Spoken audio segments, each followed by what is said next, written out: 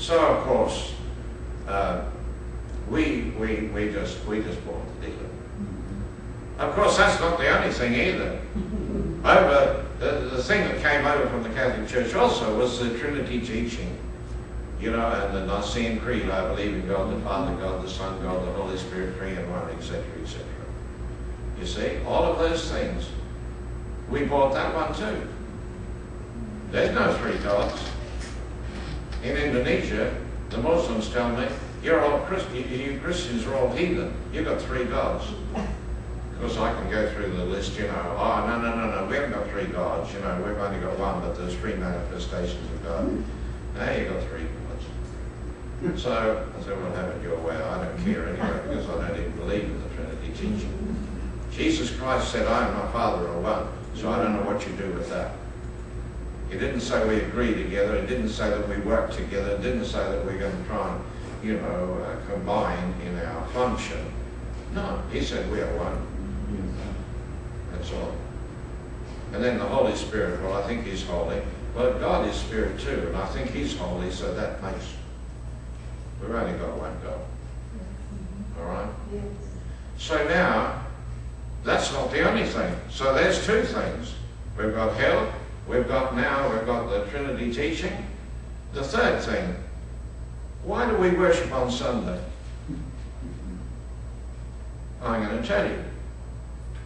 Because in AD 322, Constantine became the Emperor of Rome. And he was a Christian. Well, a little while later, after he got going, you know, got his feet on the ground and he's running, uh, he said, now, the Jews, they meet on Saturday. Because Saturday is their holy day. It's the Sabbath, you see. But now we're not Jews, so we're not going to meet on Saturday. We're Gentiles. And we're Gentile Christians. So we're going to have our own day of worship. And guess what he picked? Mm-hmm. He picked Sunday. Why? Well, that was the day for the worship of the sun god. Mm-hmm. Oh, God, help us. Mm-hmm. And we bought it. We bought it. And then to make it stick, to make Sunday to be the real day of worship, they had to make the resurrection on Sunday morning. Very, very, I mean, he's, he, he dies on Sunday afternoon. He rises Sunday morning. He's got three days and three nights to fit him down. I don't know how you do it, but anyway, it's all right. And in Matthew chapter 20, 28, verse 1, it says, And as it dawned toward the first day of the week, because that, that cemented the whole thing, you see. First day of the week, Sunday. That's the day of worship because it's the day of the resurrection. Well, that phrase is not even in the Greek language. It's not found anywhere in the Bible, first day of the week. In fact, in the Greek language, it simply says, as it dawned toward one of the Sabbaths. Hmm. Hmm. Now, I'm only telling you that because I, I, I want you to know that, you see, there are so many things in Christianity that have really thrown us for a loop, and, and many of us have not been able to sort it all out. So I'm just sharing that with you. Now let's get down to business. It says here, their minds were blinded, for until this day there remaineth the same veil untaken away in the reading of the Old Testament. In verse 16, nevertheless, when it shall turn to the Lord, when it shall turn to the Lord, when what? When you shall turn to the Lord. How are you going to turn to the Lord? Where is the Lord? Up there? No, I don't think so. The Lord is not up there, but when you turn to the Lord, you are turning in. You are turning inward. For this is where the Christ lives. Yes. This is where the Christ is. This is the Lord. The word Lord in the Bible generally means the owner. He's the owner. Mm-hmm. He owns you. Your body does not belong to you. So it says here, when shall turn to the Lord, the veil will be taken away. So when we turn to the Lord, we are beginning to see something very, very different to what we used to see before. And it says here, Now the Lord is that Spirit, and where the Spirit of the Lord is, there is liberty. Liberty. Nobody living under a law is at liberty. So if you've got some law still functioning in your life, the Ten Commandments or anything else, you are not at liberty. You're not free because the law will put demands upon you. And so there is unwritten laws in Christianity today. Unwritten laws, but they are kept by the church. You must not do this, you must not do that. I'm not going to go into all that stuff.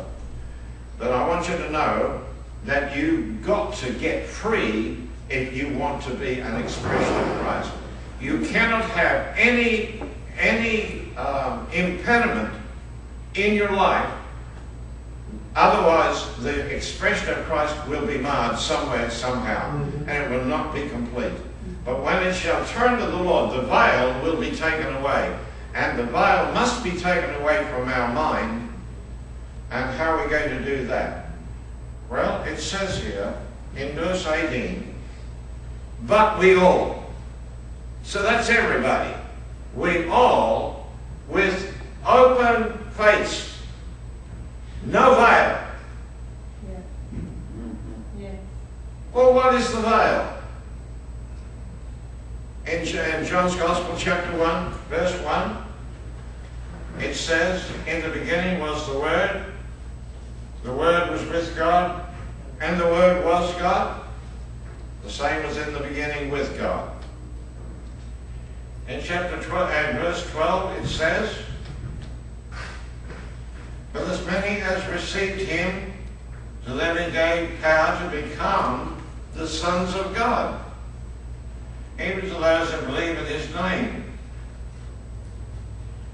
In verse 14 it says, And the Word was made flesh, and we lost him. The Word was made flesh, and all we ended up with was Jesus.